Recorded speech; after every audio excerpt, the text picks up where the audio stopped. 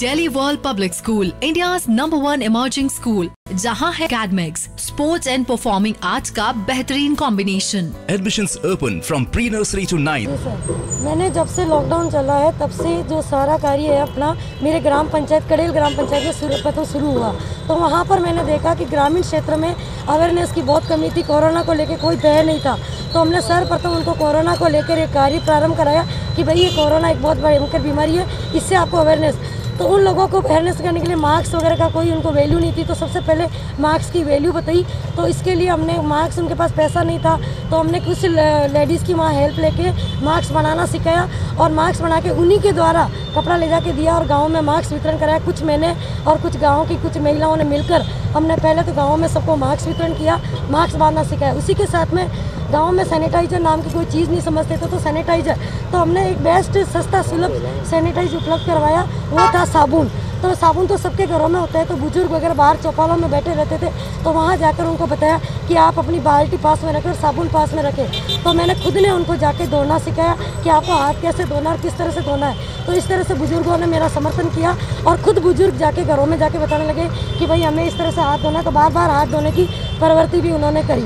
उसके बाद में जो मैन कड़ी आई थी, खाने, पीने की सारी व्यवस्था, उनकी बहुत सारी प्रॉब्लम हो रही थी तो मेरे को आके बोलते।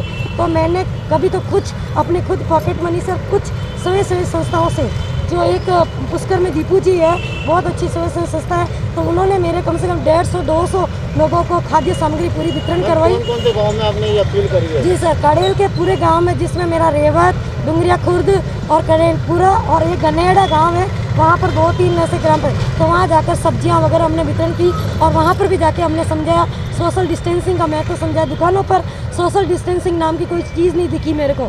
तो मैंने सर्वप्रथम वहाँ गोले बनाकर उनको किस तरह से सोशल डिस्टेंसिंग रख सकती है कैसे आपको सामान खरीदना है ये कहना चाहते हैं शहरवासियों और गाँव वालों को? शहरवासियों और गाँव वासियों में एक फ़र्क है कि शहरवासियों में तो बहुत सारी संस्थाएँ जो कार्य करती है लेकिन गाँव में ऐसी कोई संस्थाएँ नहीं है सिर्फ़ एक पुष्पर की दीपू जी और कुछ संस्थाएँ जो कार्य कर रही है। तो जो शहरी संस्थाएँ हैं हमारे इस कार्य से कई आगे आई तो रोटरी क्लब वगैरह उन्होंने जैसे परिंदा अभियान शुरू किया तो परिंदे भी दिए हमें।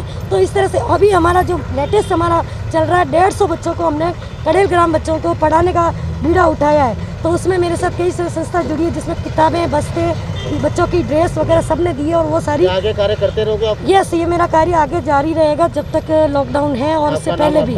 मेरा नाम रोशनदीप श्रीमाली मैं राजकीय उच्च प्राथमिक विद्यालय डुंगरिया खुद से शिक्षिका हूँ और गाइड कैप्टन भी हूँ।